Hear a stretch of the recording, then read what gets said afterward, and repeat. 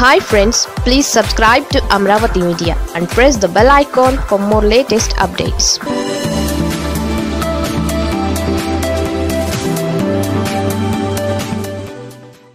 చంద్రబాబుకు ఆ సలహా ఇచ్చింది ఎవరు?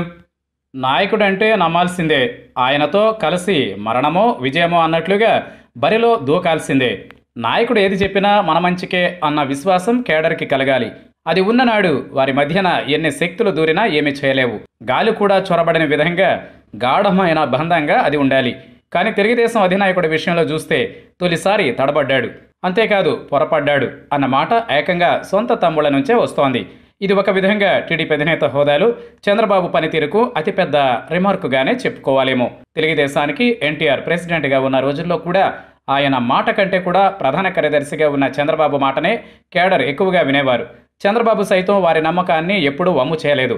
ఎన్ని దెబ్బలు తిన్నా కూడా కేడర్ని తాను కాసుకుంటానని చెప్పి ముందుకు తోసేవారు. ఏనాడు చంద్రబాబు పిరికి మందు కార్యకర్తలకు నూరి పోయలేదు. పోరాట పట్టిమన వీడలేదు. అలాంటి చంద్రబాబు ఇప్పుడు ఎందుకిలా అయిపోయారు అన్నదే కేడర్లో చర్చగా ఉంది. చంద్రబాబు రాజకీయ జీవితం సుదీర్ఘమైనది. ఆయన ఎంతోమంది ముఖ్యమంత్రులతో పనిచేశారు. చాలా మందితో ఎదురొడ్డి పోరాడారు. కానీ ఆయనకు ఎక్కడా జగన్ లాంటి క్యారెక్టర్ తారసపడలేదు. అందుకే చంద్రబాబు ఎత్తులు జిత్తులు జగన్ ముందు ఒక్కొక్కటిగా చిత్తవుతున్నాయి. ఆ దిగులుతనంతో ఆ ఆలోచనలేమితో చంద్రబాబు ఏదేదో చేస్తున్నారన్న మాట అయితే పార్టీ నుంచే వినిపిస్తోంది. చంద్రబాబు జగన్ని ఎదుర్కోవడంతో విఫలమయ్యారు అని ఇప్పుడు తమ్ముళ్ళే అంటున్నారంటే అధ్యక్షుడిగా ఆయన మీదనే జనానికి విశ్వాసం తగ్గిపోతుంది అనుకోవాలేమో. చంద్రబాబుకు ఎవరు సలహా ఇచ్చారో కానీ ఆయనే తీసుకున్నారో తెలియదు కానీ పరిషత్ ఎన్నికల బహిష్కరణతో ఒక్కసారిగా తమ్ముళ్ళు గ్రామాలలో తలలు దించుకునేటట్లు చేశారని అంటున్నారు.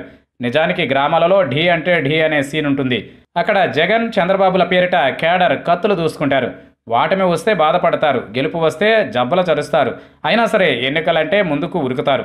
అలాంటిది ఎన్నికల జోలికి అసలు పోకుండా తన ప్రత్యర్థులకు సునాయాసం చేస్తూ ఇంటిలో కూర్చోమంటే కేడర్ ఎంతలా రగిలిపోతారో కదా. ఇప్పుడు తమ్ముళ్ళు అదే అంటున్నారు. మాకు సిగ్గుపోతోంది అని కూడా వారు బాధపడుతున్నారు. పార్టీకి చంద్రబాబు సారథి కావచ్చు. కానీ రోడ్డు మీదకు వచ్చి పోరాడేది మాత్రం కార్యకర్తలే. మరి వారిని వెనక్కి పిలవడం ద్వారా చంద్రబాబు తన వారికే వెన్నుపోటు పొడిచారా? లేక తమ శక్తి సామర్థ్యాలనే అవమానించుకున్నారా? మొత్తానికి దీక్షాధ్యక్షుడిగా పేరు తెచ్చుకున్న చంద్రబాబు ఫస్ట్ టైం తన పొలిటికల్ కెరీర్లో తడబడ్డారు.